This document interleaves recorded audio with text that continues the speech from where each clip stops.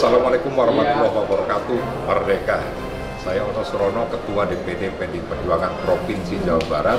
Tentunya PD Perjuangan siap untuk menang hat-trick tiga kali berturut-turut pada pemilu 2024 dan kita juga siap untuk memenangkan calon presiden PD Perjuangan Mas Ganjar Pranowo. 65 persen pemilih nanti itu adalah pemilih kaum milenial dan zilenial sehingga anak muda akan menentukan nasib bangsa ke depan. Untuk itu anak muda jangan golput, datang ke TPS dan mari kita bersama dukung Ganjar untuk semua. Terima kasih. Wassalamualaikum warahmatullahi wabarakatuh. Merdeka!